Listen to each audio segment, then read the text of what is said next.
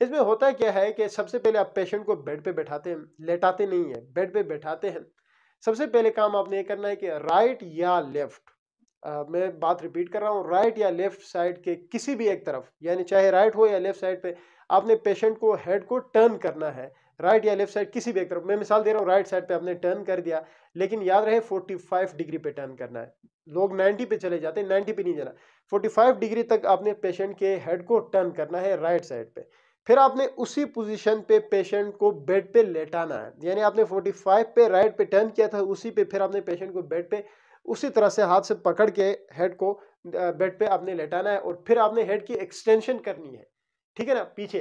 Up to twenty to thirty degree के ऊपर आपने एक्सटेंड पहले आपने 45 डिग्री पे आपने पेशेंट के हेड को टर्न किया राइट साइड पे, फिर उसी तरह से पेशेंट को लेटा के अब एक्सटेंशन किया 20 से 30 डिग्री का। अब एक्सटेंशन करने के बाद आपने पेशेंट को ये कहना है, अपनी पूरी बॉडी को टर्न करे टू वर्ड द लेफ़्ट पहले सिर्फ़ हेड था, अब पूरी बॉडी को वो लेफ़्ट पे टर्न करेगा। जब लेफ़्ट पे टर्न करेगा, फिर आपने थोड़ी देर तक पेशेंट को उस तरह रख के दोबारा आपने पेशेंट को खड़ा करना है, उसी हिसाब से 45 पे। तो ये दो मेन चीज़ें इसमें, एक तो 45 डिग्री पे पेशेंट का हेड की टर्निंग है, और दूसरा 20 टू 30 डिग्री पे आपने पेशेंट की हेड की एक्सटेंशन है।